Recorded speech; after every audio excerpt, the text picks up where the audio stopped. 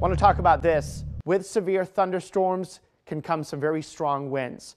Generally, gusting 58 miles per hour or higher is the definition for severe thunderstorm winds, and they can gust over 100 miles per hour, which makes some severe thunderstorms stronger than some weak tornadoes. So what can you expect with severe thunderstorm winds? Well, branches and trees may fall. You should plan on the potential for power outages.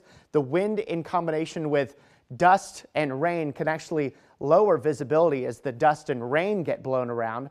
And the wind could even be strong enough to push you out of the lane you're driving in or knock over uh, larger trucks and 18 wheelers and unsecured objects around your home may fly. What do we mean when we mean unsecured objects? Well, these are the objects that you want to tie down or bring in when severe weather and severe winds are a concern. Trash and recycling bins, patio furniture, and especially those umbrellas that can really catch the wind. Even potted plants can blow over. Kids' yard toys too, bring those in from the outside, put them in the garage if you have one, and don't forget about those trampolines either.